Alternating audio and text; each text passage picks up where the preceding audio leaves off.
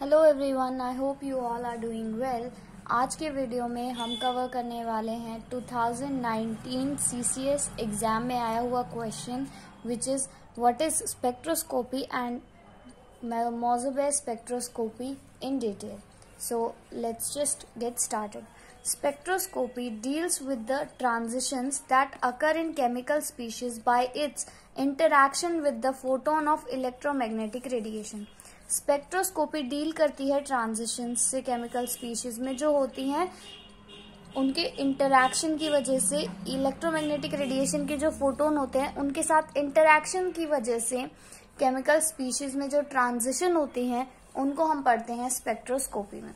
The energy absorbed and release is in the form of quantum Spectroscopy is mainly used to measure the energy difference between various molecular energy levels and to determine the atomic and molecular structure. The instruments used to study spectro are spectrometer, spectrophotometers.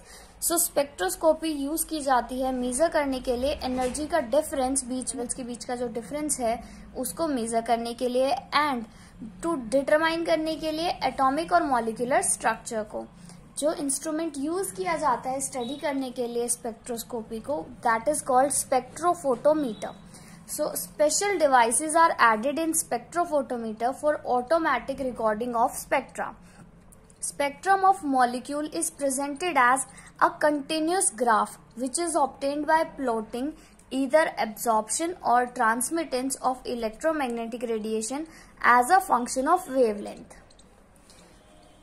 Spectrometry which is quite different from usual spectroscopic techniques depends on absorption or emission of electromagnetic radiations. In most branches of spectroscopy, the system interacts with the magnetic field. Moser-Baer spectroscopy. So the Moser-Baer spectroscopy involved nuclear transition which result from absorption of gamma rays by sample.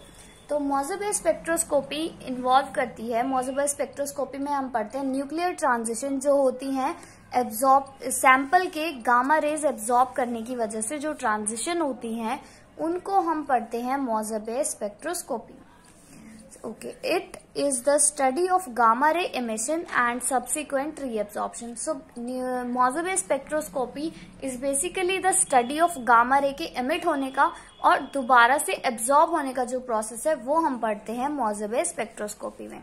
The absorption of rays depend on electron density around the nucleus it concern with both ground and excited state properties of nucleus gases and non viscous liquids don't exhibit mosebeer effect because of recoil energy. So gases और viscous liquid में हमारा मोजोबेर effect काम नहीं करता because उनके अंदर recoil energy loss होता है, जो हम आगे पढ़ेंगे। The phenomena of recoilless emission and resonance absorption of low energy rays emitted by nuclei is first studied by, observed by R. L. Moser-Baer in 1958 at low temperature. Okay. So, here it is a gamma ray transmitter. अब हम पढ़ने वाले हैं principal मोजोबेयर spectroscopy का तो ये हमारा छोटा सा डायग्राम है लेट मी एक्सप्लेन यू ये हमारा गामा रे इमिटर है ये गामा एब्जॉर्बर है and it is gamma detector so first consider करेंगे हम एक गैसियस सिस्टम जिसके अंदर एक रेडियो एक्टिव सोर्स होगा गामा रे का जिसे हमने यहाँ पे गामा रे इमिटर कहा है। एंड एक सैंपल होगा जो एब्जॉर्ब करेगा यहाँ से इमिट होने वाली गामा रेज को बाय और फिर हम क्या करेंगे?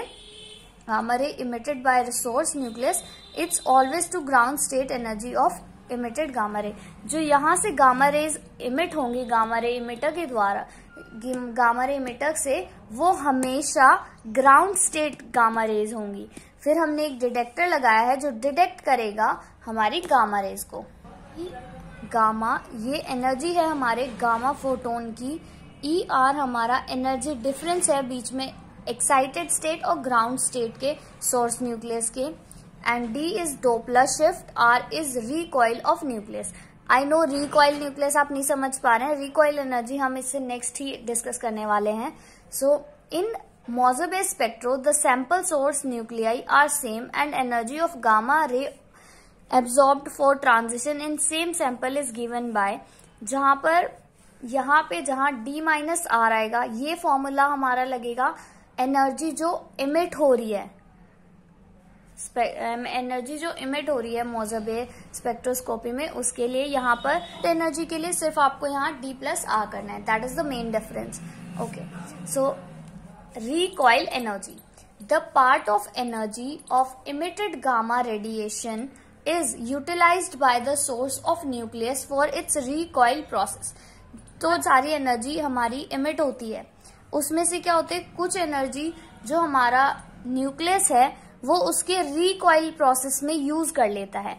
This process is called recoil energy hence the amount of energy is energy is called recoil energy और जो एनर्जी रिकॉइल प्रोसेस में यूज़ होती है उसे हम बोलते हैं recoil energy here delta nu is equals to nu V by C here this nu is the recoil energy V nu is the frequency of gamma radiation, V is the velocity of gamma radiation. And C as we all know is the speed of light. So line width अगर हमको निकालनी हो तो हम कैसे निकालेंगे? Line width का simple सा फॉर्मूला है। Line width is equals to L N two by T V two is into H by two pi और सिंपली हम बोल सकते हैं delta is equals to zero point six nine three two by T half into H by two pi इसको और simplified हम कैसे करेंगे? R is equals to rho square by two M rho V all know is equals to H by lambda is equals to E by C so E is equals to rho dot C.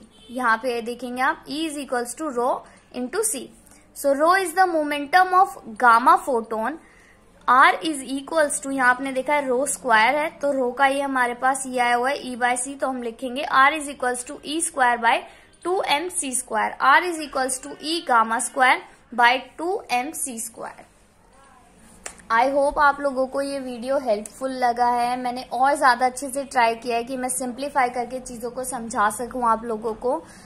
I know guys इस बार video बहुत late आया है because exams की वजह से और lockdown की वजह से कुछ चीज़ें नहीं बैलेंस हो पाई थी। But I promise you guys अब से रेगुलर वीडियोज़ आने वाले हैं चैनल पे तो प्लीज़ चैनल को सब्सक्राइब करें।